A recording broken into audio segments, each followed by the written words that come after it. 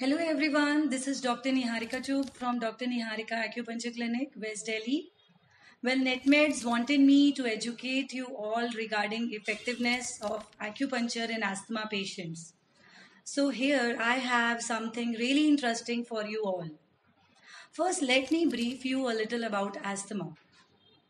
Asthma is one of the very common health condition in India. There are more than 10 million cases of asthma each year in India, and that's huge. In this condition, the airways they become inflamed, narrowed, swollen, which produce excessive mucus, making it really difficult to breathe. Now, what causes asthma? Asthma is basically an outcome for chronic allergies from various allergens and which varies from patient to patient. And let me tell you something nobody is born with asthma Definitely, if both the parents they are asthmatic or they have allergy issues, then the chances of asthma in the kid increases by 75%. And the life of asthmatic patients is really miserable, especially during the change of season. So they have to be dependent upon inhalers, upon bronchodilators, steroids, nebulizers, and it is really very bad. Now, I want to tell all the patients who have asthma or who have allergic issues that they need not be dependent upon the medications throughout their life. Yes, you heard it right. Acupuncture is treatable. It is treatable with acupuncture. But how? How acupuncture treats asthma? So basically, acupuncture works upon the three areas of the patient with asthma.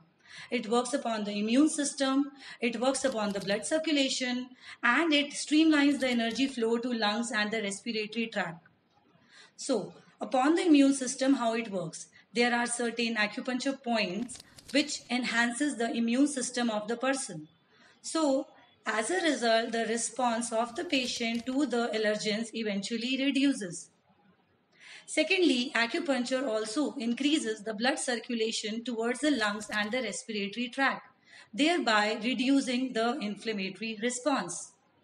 And thirdly, acupuncture works by opening up the energy blockages to the lungs and the respiratory tract, thereby streamlining the energy flow to the respiratory system. So, whomsoever who is taking acupuncture can see improvement in terms of the symptoms, can see improvement in terms upon, of the lung function, and also in terms of the dosages of medications they are taking. So, eventually, their dependency upon the medications reduces. And apart from the acupuncture treatment, the patient is always given certain lifestyle and dietary changes to pace up their recovery. So, first of all, they are recommended that they should identify their triggers and should avoid them, especially during the initial stages of the treatment when their immune system is not up to the mark. But eventually, when their immune system starts getting better, then they can slowly and gradually expose them to the allergens also. Then, secondly, consumption of tea and coffee is recommended for asthma patients because it has certain biological chemical substances which enhance bronchodilation. Then third is they are asked to avoid fatty and greasy diet because it provokes inflammation. And then they are also asked to intake, they consume vegetables and fruit which are rich in antioxidants. For example, strawberries, tomatoes, spinach, broccoli, they are good for them.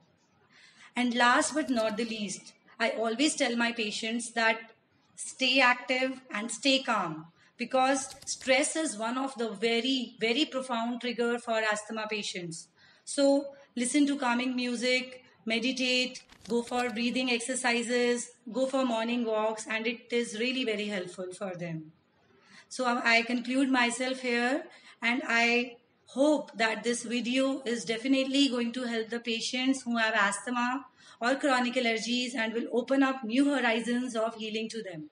Thank you.